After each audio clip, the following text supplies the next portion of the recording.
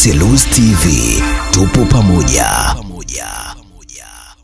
Jeshi la polisi mkoani Morogoro limesema watu watano wamefariki dunia katika ajali iliyotokea usiku wa kuamkia Disemba 26 mwaka huu katika eneo la Iovi wilayani Kilosa mkoani Morogoro. Kamanda wa polisi mkoani humo CACP Fortunatus Muslim amesema kuwa ajali hiyo ilihusisha gari ndogo aina ya Toyota alion yenye namba za usajili IT 6954 DNN iliyokuwa ikitokea katika bandari ya Dar es Salaam kuelekea mpaka wa Tunduma ambapo iligongana na roli la mafuta.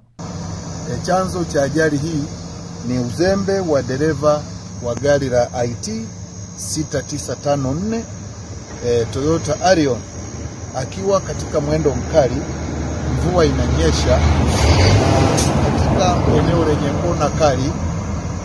E, dereva huyo alishindwa kuchukua tahadhari na hivyo kushindwa kulimudu gari hilo mwelekeo na kuhama kutoka upande wa kushoto kwenda upande wa kulia na kwenda e, kugongana na hilo roli la kubeba mafuta.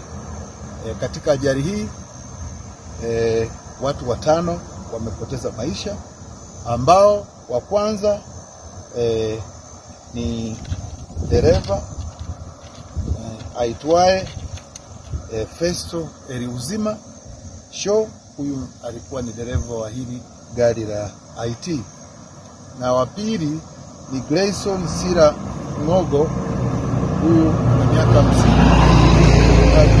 Chuo cha cha ufundi Kisangi kilichoko Mbeya, na watatu ni Janet John Ruvanda, huyu ni miaka 40, ni mwalimu shule ya sekondari Tendiko